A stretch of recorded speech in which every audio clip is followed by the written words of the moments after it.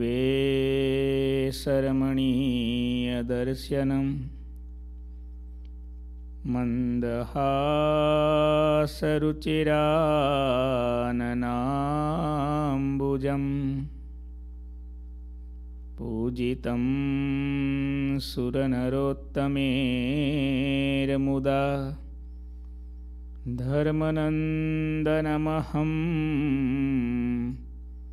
विचिन्तये। ॐ अवतारिणे श्रीस्वामिनारायणाय नमो नमः। श्रीसहजानन्दाय नीलकण्ठाय च नमो नमः।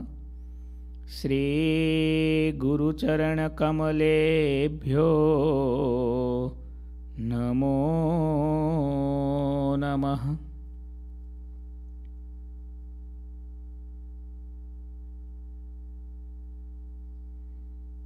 બોલો શ્રી સ્વામિનારાયણ ભગવાનની જય શ્રી હરે કૃષ્ણ મહારાજની જય શ્રી ઘનશ્યામ મહારાજની જય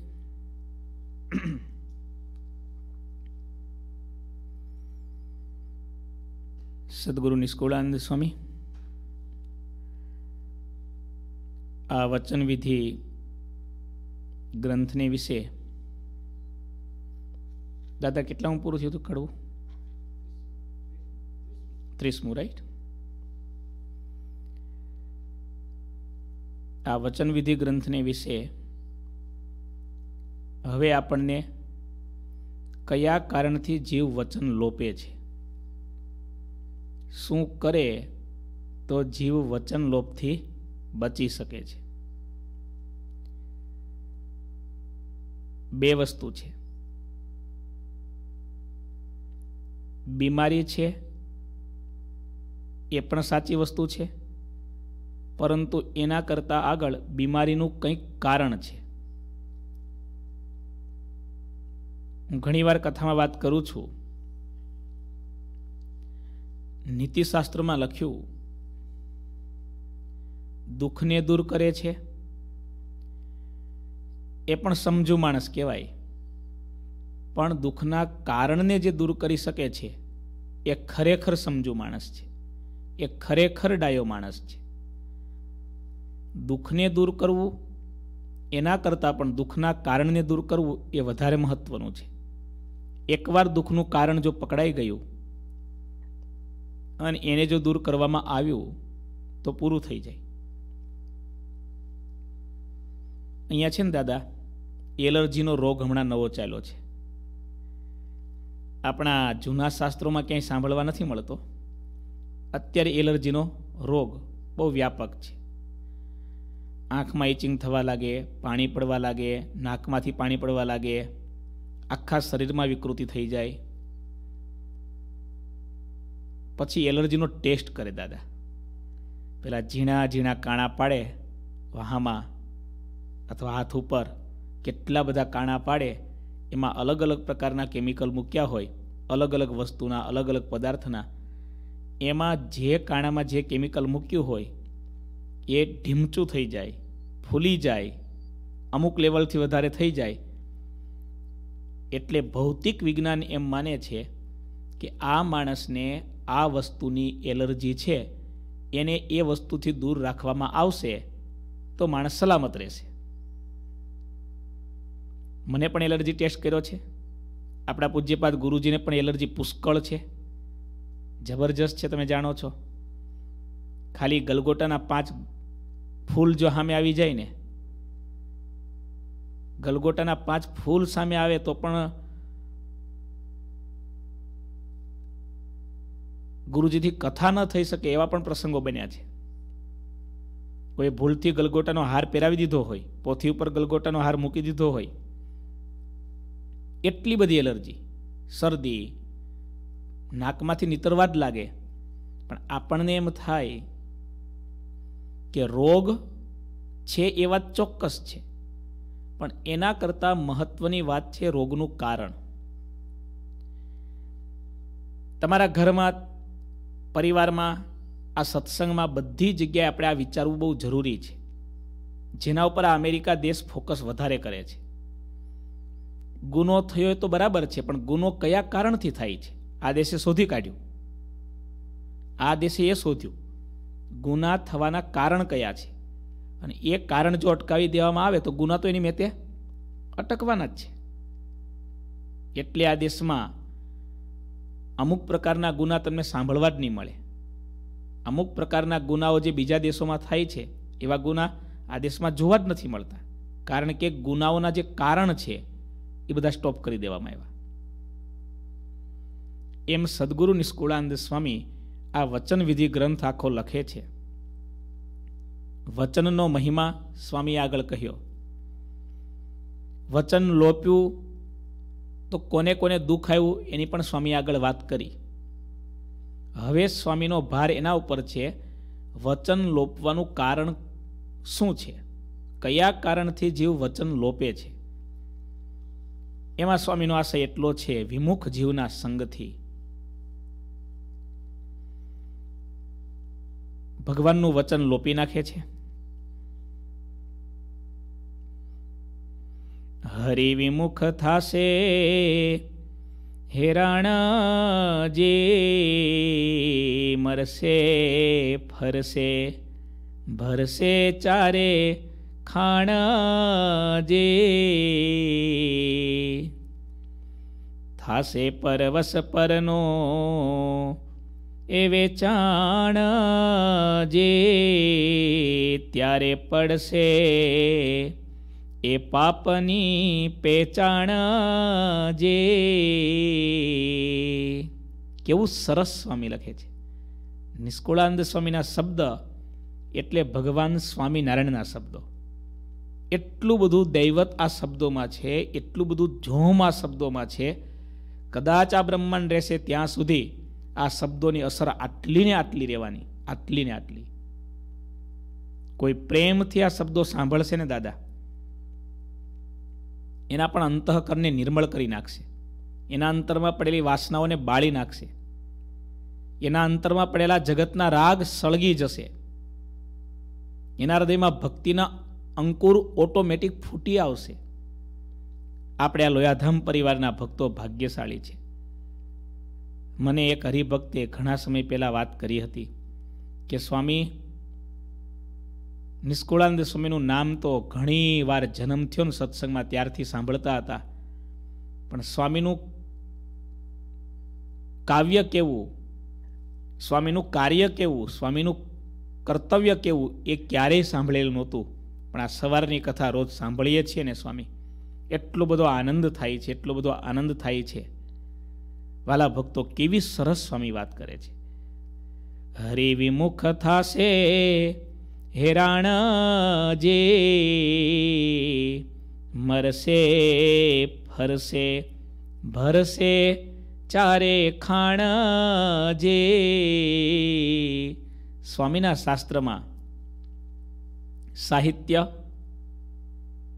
અલંકાર, ઉપમા બધી વસ્તુના આપણને દર્શન થાય. સ્વામી એમ કહે છે, જે ભગવાનથી વિમુખ છે, એ તો હેરાન થવાનો જ. એ તો મરવાનો જ, મરશે. એટલું નહીં, પાછો ફરશે. ચોર્યાસી લાખ યોનીમાં ફરવાનો અને ભરશે. નરકના કુંડો ભરી દેવાના. આવા પાપી અને વિમુખ માણસોથી નરકના કુંડો છલકાય છે.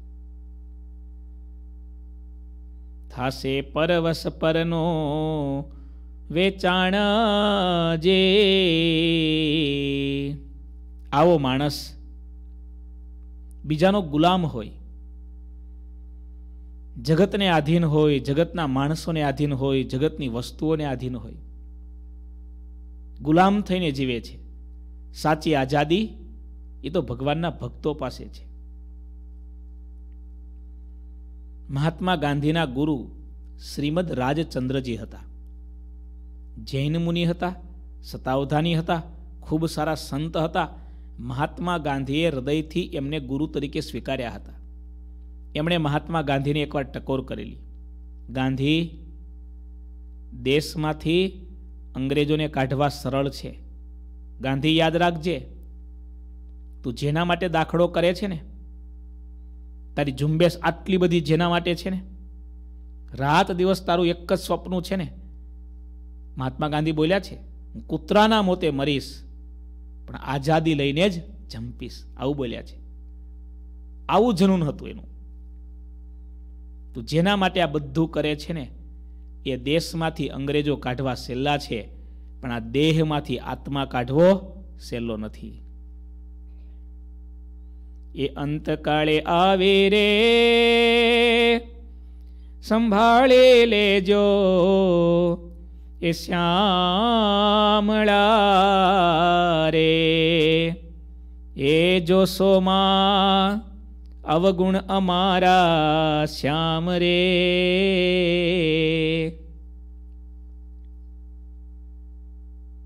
મૃત્યુનો સમય જ્યારે સામે આવે છે ને, ગમે એવો રાજા હોય, આ પૃથ્વીનો ચક્રવર્તી સમ્રાટ હોય, એમ એ તક પાસ હો, ઉત્તમ અભ્યાસ હો. દાદા, કવિએ કેવું લખ્યું છે? જો સાંભળજો, હા. કવિએ શું કાવ્ય લખ્યું છે? એમ એ તક પાસ હો, ઉત્તમ અભ્યાસ હો. ખાસ હો સુજાન હો સપુત ખાનદાન કા कर्नल कप्तान हो जंत्रल जुवान हो फौज को कमान हो तोरन तूफान का ऐसा इजनेर हो मापगिरी मेर हो कला बोतेर हो वाकिफ कुरान का दिल का दरियाव हो सुखद स्वभाव हो पिंगल बचाव अंत बने नहीं प्राण का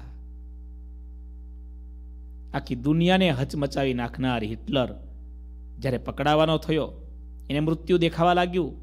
એને થયું, સાહીઠ લાખ માણસોને મેં જેવી રીતે માર્યા છે, એવી રીતે ક્રૂરતાથી મારે મરવું પડશે.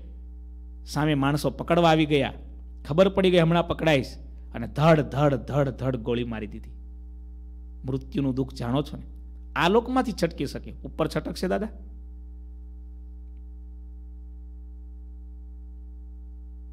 મૃત્યુ વિશે આપણા શાસ્ત્રોમાં એટલું બધું લખ્યું છે.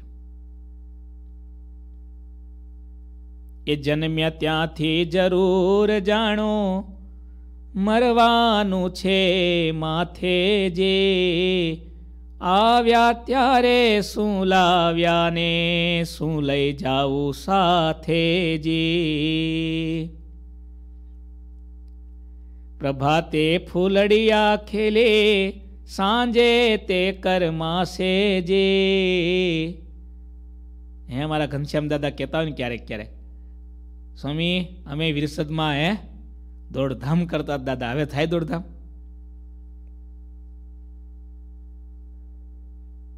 એ ભૂલાતી નથી, એ સુખી જિંદગીને સુખી જિંદગીને. માણસનું જીવન બહુ મોટો પ્રશ્ન છે, બહુ મોટો પ્રશ્ન. હું તો ક્યારેક ક્યારેક શાસ્ત્રો વાંચતા વાંચતા એટલું બધું ડૂબી જાઉં. એમ થાય. બોલવા કરતાં, સાંભળવા કરતાં જીવનમાં ઉતારવું એ બહુ મહત્વનું છે. આપણું જીવન આપણને જ કામ લાગી જાય તો પણ ઘણું છે. દાદા, એક બહુ સરસ વાત. બહુ સરસ વાત. સાંભળજો. ભીખુ દાદા. ડેરી સાયન્સ કોલેજમાં ક્લાસ ચાલતો હતો. સમજો છો ને તમે?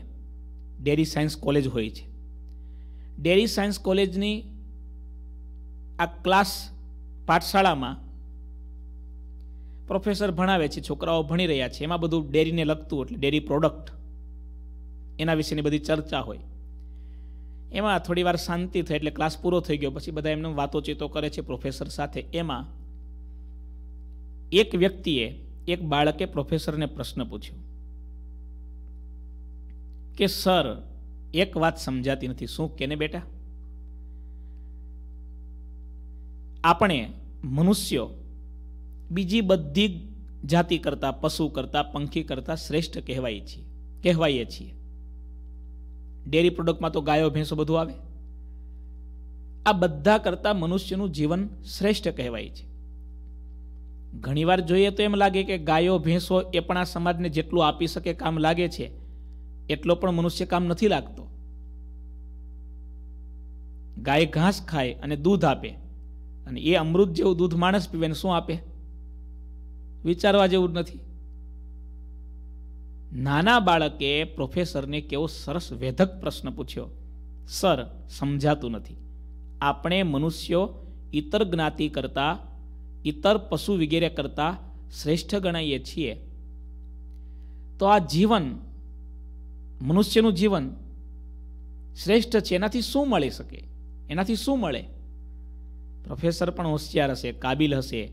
થોડા જ્ઞાનીને સમજો હશે. એણે કહ્યું કે, દીકરા, તારી વાત સાચી છે. તું પચાસ ટકા તો સમજે જ છે. એટલે કે તને ખબર છે કે બીજી જ્ઞાતિ કરતાં બીજી યોની કરતાં મનુષ્યની યોની શ્રેષ્ઠ છે, અધિક છે. હવે તારે અડધું જ સમજવાનું બાકી છે. તો આ જીવનમાં મળે શું? આ જીવનથી લાભ શું? જો દીકરા, આપણે જે ભણીએ છીએ ને, એમાંથી જ તને દ્રષ્ટાંત આપીને બતાવું. આપણા ડેરી પ્રોડક્ટના ક્લાસમાં આજે જ આપણે જાણ્યું, દૂધ અને દૂધમાંથી થતી વાનગીઓ. ચાલ, તને કેટલું યાદ રહ્યું? દૂધમાંથી શું શું બની શકે? ચાલ મને બતાવો. છોકરો કે સાહેબ, કેટલું બધું બની શકે?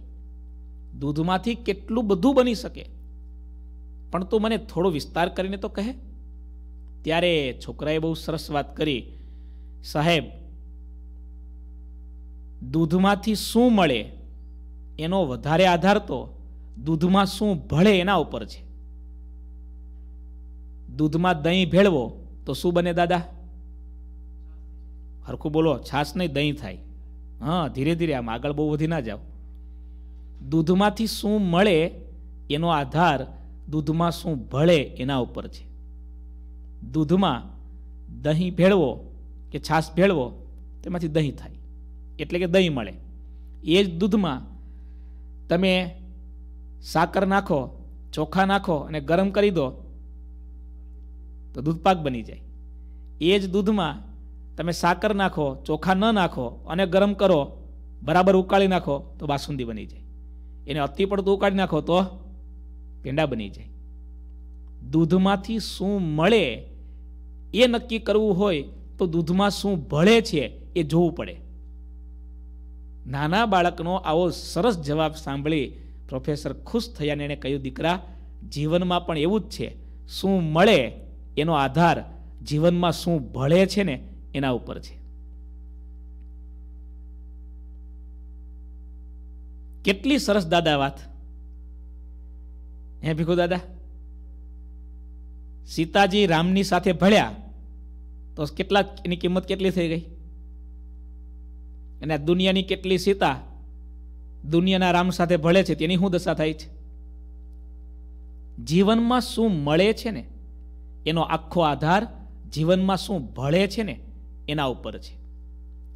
સંતની સાથે આપણે ભળીશું તો ફળ આપણને મહાન મળશે અને વિમુખની સાથે જો ભળીશું તો ફળ આપણને કંઈક એવું જ મળશે.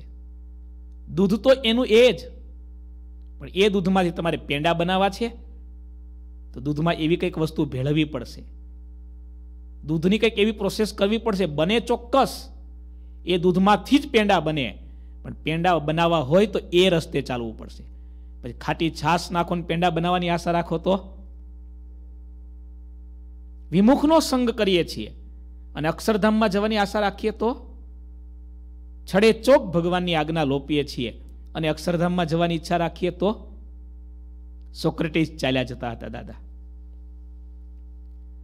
એથેન્સની ગલીમાં સુકરાત ચાલ્યા જાય છે. ચાર એમના સેવક જોડે છે અને સેવકોએ પ્રશ્ન પૂછ્યો કે, સુકરાત, તમે વારંવાર સંસ્કારની જ વાતો કરો છો? જીવનને સંસ્કારિત કરવું જોઈએ, જીવનને ઘડવું જોઈએ. પણ આ ઘડતરનો, આ સંસ્કારનો મહિમા શું? શું બીજી વાત જીવનમાં જરૂરી નથી? ખાલી ઘડતર જ? દાદા, આ બધું આપણું ઘડતર કહેવાય. આપણે ધર્મ જે કહીએ છીએ ને, આ ઘડતર છે. વહેલા જાગવું ડિસિપ્લિન રાખવી, કથા આરતી કરવી, પૂજા વગેરે કરવી, તિલક આ બધું ઘડતરની પ્રોસેસ છે. વિદેશની પ્રજાને ઘડતર માને છે. આપણા દેશી સામાન્ય સમાજમાં એને સંસ્કાર તરીકે કહેવાય છે. અને એ જ વસ્તુ આપણા સત્સંગમાં ધર્મ તરીકે બોલાય છે. આ વસ્તુના નામ જુદા જુદા થોડું સમજવા જેવું છે આ. ક્યારેક પ્રેઝન્ટેશન દ્વારા વધુ સ્પષ્ટ કરવું જોઈએ. નામ જુદું છે ખાલી. તમે મિલ્ક કહો, તમે દૂધ કહો, તમે વારી, પયહ કહો. સંસ્કૃતમાં પયહ કહેવાય. નામ જુદા, પણ વસ્તુ તો એક જ છે. એમ વિદેશી પ્રજા એને ઘડતર તરીકે કહે છે. આપણો શિષ્ટ અને સભ્ય સમાજ એને સંસ્કાર તરીકે માને છે. આપણા સત્સંગમાં, અધ્યાત્મ જગતમાં એને આપણે ધર્મ તરીકે જોઈએ છીએ. સુકરાતને પૂછ્યું તમે જ્યારે હોય ત્યારે સંસ્કાર, ઘડતર એની જ વાતો કરો છો. એનો મહિમા શું? ઇતિહાસના બધા એવા જ્ઞાની પુરુષો થયા, બહુ ઓછું બોલતા, પણ જે બોલ્યા, એના એક એક શબ્દો કરોડોની કિંમતના થઈ ગયા. થોડા ચાલ્યા, કંઈ જવાબ આપ્યો નહીં. એમાં ચાલતા ચાલતા એમણે રોડ ઉપર એક નાનો લોઢાનો ટુકડો પડેલો જોયો. લાકડીથી એ ટુકડો ખસેડ્યો, પૂછ્યું, આ શું છે? લોઢાનો ટુકડો. આની કેટલી કિંમત થઈ શકે? અરે, સર, આની શું કિંમત થાય? આની કિંમત તો કદાચ પાંચક રૂપિયા થાય. આ ટુકડો છે, એમાંથી નાની ખીલ્લી બનાવીએ તો? આ તો એની કિંમત થાય, કેટલી થાય? દસક રૂપિયા. ચાલો, આ જ ટુકડો છે, આ લાકડી છે, આ લાકડી માટે નીચે સરસ મજાની ભૂંગળી લોઢાની મૂકવામાં આવે ને, ડાબલી એવી બનાવવામાં આવે તો? તો એની કિંમત કદાચ પંદરક રૂપિયા થાય. આ જ ટુકડો છે, એમાંથી કોઈ યંત્ર એના કોઈ સ્પેરપાર્ટ બનાવે તો તો એની કિંમત વધી જાય. તો પછી વીસ પચીસ રૂપિયા થાય. આ જ ટુકડો છે, એમાંથી કોઈ ઘડિયાળ વગેરેની ચાવી બનાવવામાં આવે તો? તો તો એની કિંમત પછી પચાસ રૂપિયા થાય. સોક્રેટીઝે કહ્યું, ટુકડો આનો આ. ટુકડો આનો આ. એની પાંચ રૂપિયા પણ કિંમત થઈ શકે, દસ રૂપિયા પણ થઈ શકે, વીસ રૂપિયા પણ થઈ શકે, પચીસ રૂપિયા પણ થઈ શકે, પચાસ રૂપિયા પણ થઈ શકે. એમાંથી શું બનાવો છો ને, એના ઉપર એની કિંમત થઈ શકે. એમ તમારું ને મારું જીવન તો આનું આ. પણ આ જીવનને આપણે કેવું ઘડીએ છીએ? આ જીવનમાંથી આપણે શું ઢાળીએ છીએ? શું બનાવીએ છીએ? એના ઉપરથી મનુષ્યની કિંમત થાય, દાદા.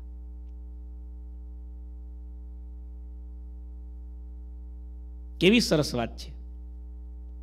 પેલા ડેરી સાયન્સના પ્રોફેસરે કહ્યું કે દીકરા, દૂધમાંથી શું મળે છે, એનો આધાર, જેમ દૂધમાં શું ભળે છે ને, એના ઉપર છે ને બસ એવી જ રીતે તારો પ્રશ્ન છે આ જીવનમાંથી શું મળે છે, શું ફાયદો છે? કેમ બીજી ઇતર યોની કરતાં જીવન શ્રેષ્ઠ કયું છે? આ જીવનમાંથી શું મળે છે ને, એનો આખો આધાર જીવનમાં શું ભળે છે, કેવા પાત્રોને આપણે ભેળવીએ છીએ. આપણા જીવનમાં સંતો ભળે તો મુક્તો જેવું ફળ મળે. આપણા જીવનમાં જેવા જેવા પાત્રો ભળવા લાગે ને, એવું આપણું જીવન દિવ્ય બને એટલા માટે પાપ છોડવું જ જોઈએ. પણ પાપ છોડવા કરતાં પણ પાપ જેને લીધે થાય છે, એ કારણ છે પાપીનો સંગ. એ પાપીનો સંગ છોડવા ઉપર જો વધારે ભાર દેવામાં આવે ને, તો પાપ એની મેતે છૂટી જવાના.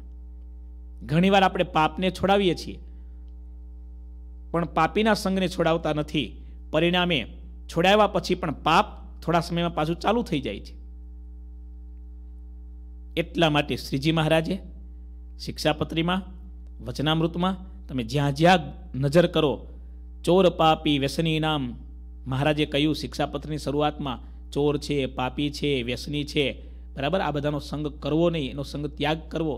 વચનામૃતમાં તો વારંવાર મહારાજે કહ્યું. મહારાજ કે, હડકાયા કૂતરાની જેમ લાળ લાગે છે અને હડકવા ચાલે છે, એમ વિમુખ જીવના સંગે કરીને હડકવા લાગે છે. અરે મહારાજ, ત્યાં સુધી બોલ્યા, અગ્નિમાં પડીને મરવું તો એકવાર મરવું પડે. પર્વત ઉપરથી પડે તો એકવાર મરવું પડે. પણ વિમુખ જીવનો સંગ કરે છે ને એના તો જીવનો નાશ થઈ જાય છે. એટલા માટે ભક્તો, બહુ સરસ સ્વામીના આ શબ્દો જુઓ તો ખરા. સ્વામી કહે છે, વિમુખ જીવ, એ તો હેરાન થવાનો મરશે, ફરશે, ભરશે ચારે ખાણજી. સ્વામી કહે છે, એ તો બીજાનો પરવશ છે, પદાર્થનો, આ દુનિયાની તુચ્છ વસ્તુનો ગુલામ છે. એનો સંગ જે કરશે ને, એની પણ એવી જ દશા થવાની. પેચાણ પડશે પાપની, જ્યારે જડશે જોડા મુંડમાં, ત્યારે આંખ ઉઘડશે, પડશે માર જ્યારે પંડમાં.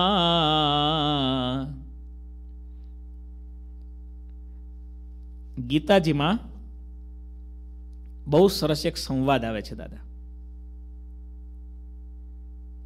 સુખ ત્રણ પ્રકારના.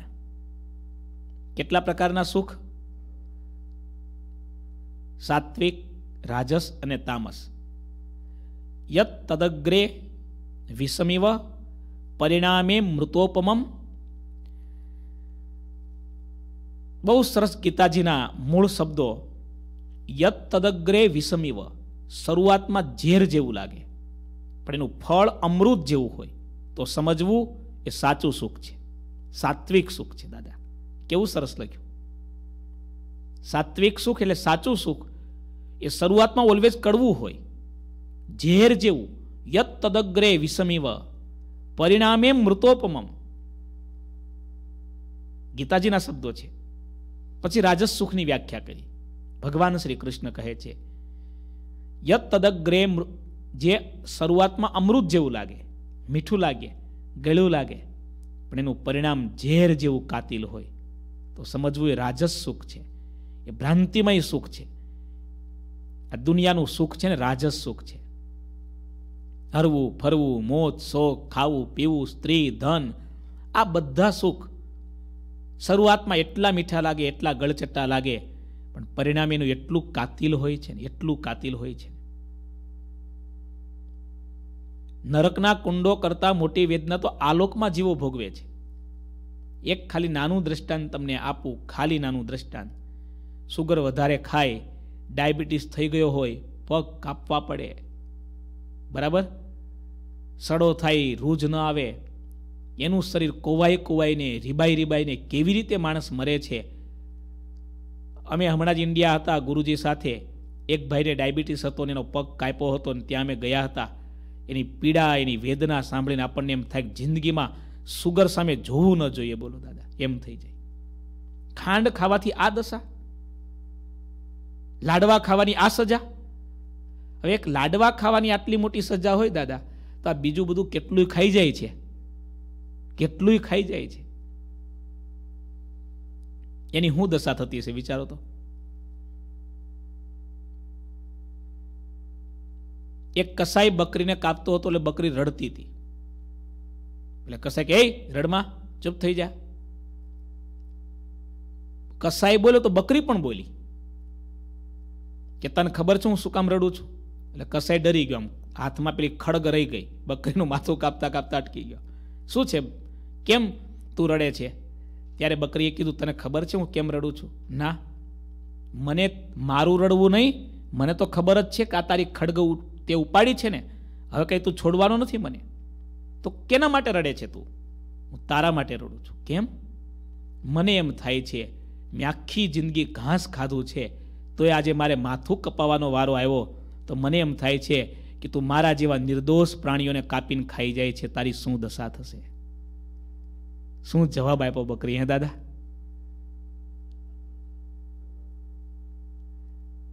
આ ભોગવવાનું થશે ને તારે?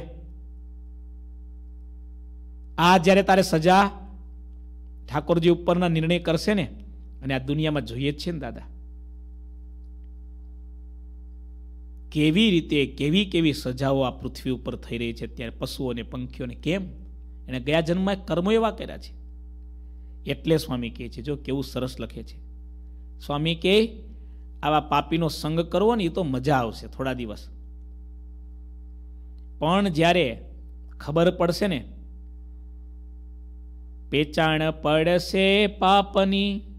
જ્યારે જડશે જોડા મુંડમાં, માથે વાગશે ને બરાબરનું. ત્યારે આંખે ઉઘડશે, પડશે માર જ્યારે પંડમાં. બકરી કેવું સરસ બોલી. આખી જિંદગી ઘાસ ખાધું છે મેં, તો પણ મારી આ દશા થઈ રહી છે.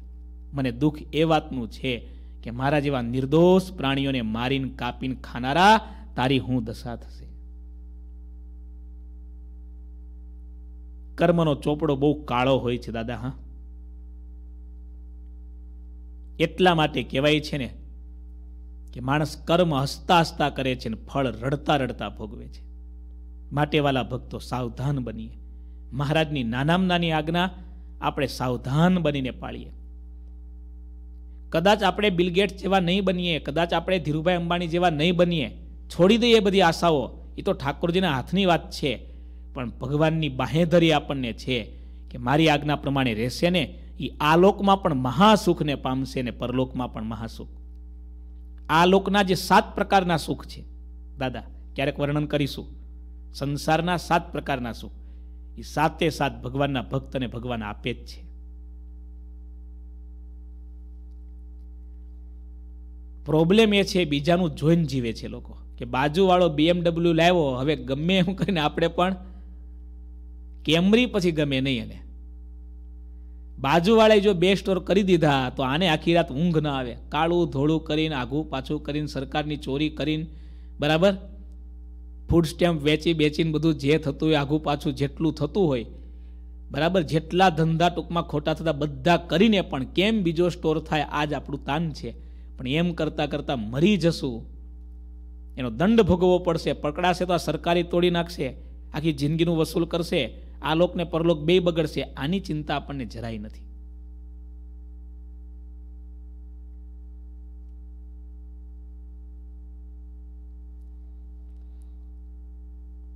જાણી જોઈ જગદેશના વિમુખ લોપે છે વચનને, મરમાણે આજ મોજને પણ પડશે ખબર તજે તનને અત્યારે ભલે આજ્ઞા લોપે, કદાચ આ લોકમાં ખબર નહીં પણ પડે, પણ આ શરીર છોડશે ને, ત્યારે ઉપર ખબર પડશે. જો કે હવે તો આ કળિયુગમાં એવું લાગે છે, કોઈ સંતે બહુ સરસ વાત કરી છે, કે હવે જમપુરીમાં હાઉસફુલનું બોર્ડ વાગી ગયું છે. એટલે ધર્મરાજાએ એવું ફરમાન કર્યું છે કે નાના મોટા ગુનાની સજા પૃથ્વી ઉપર જ આપી દેજો. તમે વિચાર તો કરો, અત્યારે આ પૃથ્વી ઉપર આતંકવાદીઓ કેવી રીતે માણસોને મારે છે? આપણે તો સાંભળીએ. હું તો જોઈ પણ ન શકું, સાંભળી પણ ન શકું. જીવતા માણસને જીવતો સળગાવે. આપણે જેમ બટેકાને કાપીએ એમ એનું માથું કાપવામાં આવે. આ હા જુઓ તો ખરા દાદા. હું દશા થતી હશે, હે? કેવી બુરી રીતે અત્યારે પૃથ્વી ઉપર સજા થઈ રહી છે. આ ગાયોને કતલખાનામાં કાપે છે, કેવી રીતે કાપે છે? અમુક ટેમ્પરેચર એને ઓનની અંદર નાખવામાં આવે એનું ચામડું જીવતે જીવતી ગાય, હા, દાદા? આપણે જોઈ ન શકીએ, આપણે સાંભળી ન શકીએ. આ ફરના કપડા અમેરિકા પહેરે છે ને? કેવી રીતે બનાવે? રેકુનને કેવી રીતે મારે છે?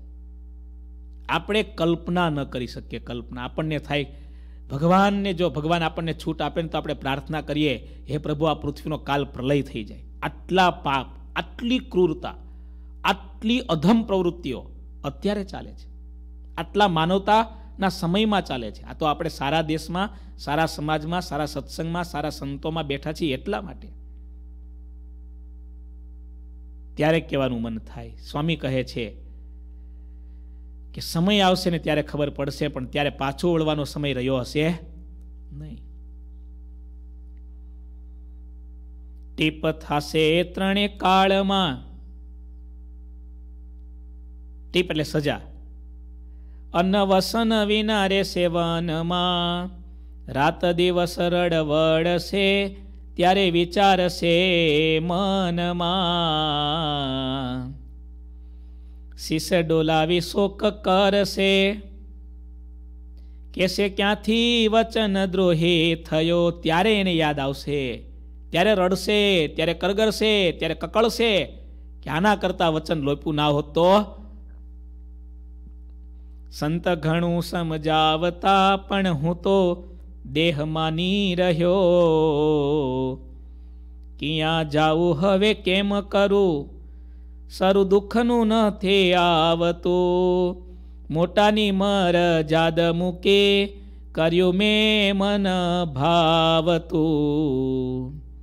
એમ પસ્તાશે પાપ્યો, લેશે ફળ વચન લોપ્યા તણું દુઃખના દરિયા ઉલટશે, સુખ નહીં રહે એક અણુ. દુઃખનું આભ ફાટી પડશે. દુઃખના દરિયાઓ ઉલટવા લાગશે. દુઃખના ડુંગરો તોળાવા લાગશે. આવું મહાદુઃખ આવશે. જેણે ભગવાનની આજ્ઞા લોપી હશે. જેટલી લોપી હશે, માટેવાલા ભક્તો આપણે આ કથા સાંભળીએ છીએ. સાંભળો. જીવનમાં આપણે આ કથા સાંભળી જીવનમાં ઉતારવાનો અભ્યાસ કરીએ. આપણા લાગતા વળગતા, આપણા સ્વજનો, આપણા સ્નેહીજનો, આપણા પરિવારના જનો એને પણ આ સંભળાવીએ, એને પણ આ રસ્તે વાળીએ. મેં તમને કહ્યું ને, દૂધમાંથી શું મળશે એનો આધાર દૂધમાં શું ભળશે એના ઉપર છે. કા પાપ આપણા પરિવારમાં કોઈક છે? એને સમજાવીને ગમે તેમ કરીને સારા રસ્તે લાવીએ અને સારા રસ્તે નથી આવે એમ, તો પછી એને છોડી દઈએ.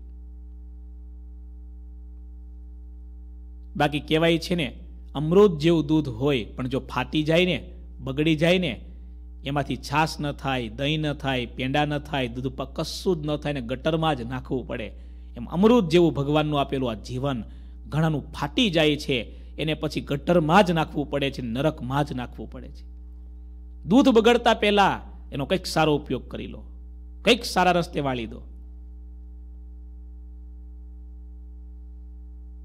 માટે આપણે ધર્મને પાળવો જોઈએ અને જે ધર્મને પાળતા હોય એવા સાથે જ મિત્રતા, સગપણ, સ્નેહ અને હેત રાખવું જોઈએ. ધર્મ છે મને બહુ, વાલો રે એમ. વાલો એમ કહે છે, ધર્મનો લાલો રે. ધર્મ છે અમને બહુ વાલો રે.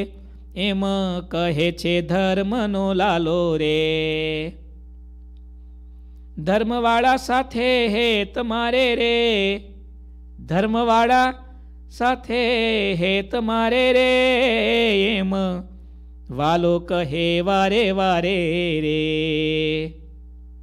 નાક કપાવી, નથ પહેરવી એ તો નારે નઠારેનું કામ છે. એથી મર રહીએ અળગા. એવા ભૂષણ પહેરવા હરામ છે. સુરપણખા જેવું જીવન એના કરતા ધિક્કાર છે. સીતાની જેમ વનમાં જવું પણ સારું, હે? આ ગ્રંથની કથા બહુ સમજવા જેવી કથા છે. મહાદુઃખથી બચવા માટેનો સ્વામી ઉપાય બતાવ્યો છે. જીવનને ઝેર જેવું ન બનાવવું હોય એનો ઉપાય બતાવ્યો છે. આપણા જીવનના અમૃત જેવા દૂધને બગડવા ન દેવું હોય એનો સ્વામી ઉપાય બતાવ્યો છે.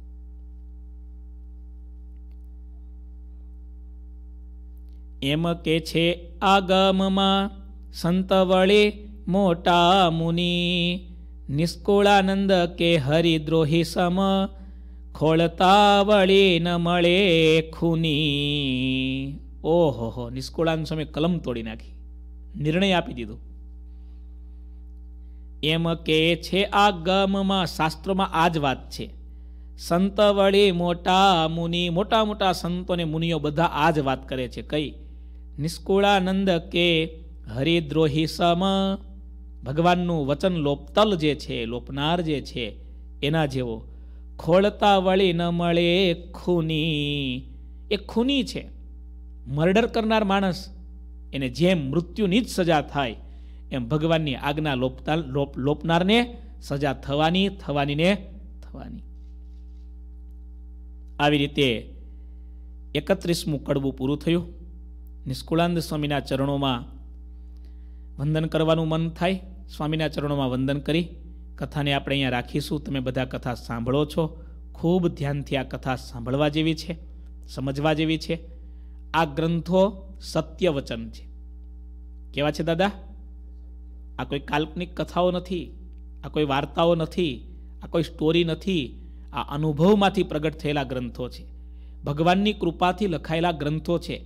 આ પૃથ્વી ઉપર સૂર્યને ચંદ્રની જેમ જરૂર છે. એ હશે ત્યાં સુધી આ પૃથ્વીનું.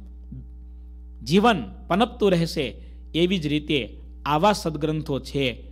ત્યાં સુધી આ પૃથ્વી ઉપર સુખ અને શાંતિ રહેશે માટે આપણે આ ગ્રંથ, એની કથાનું શ્રવણ કરીએ, ધ્યાનથી, એકાગ્રતાથી ને આપણા જીવનમાં આ કથાને ઉતારતા પણ જઈએ સાથે. બોલો ઘનશ્યામ મહારાજની જય.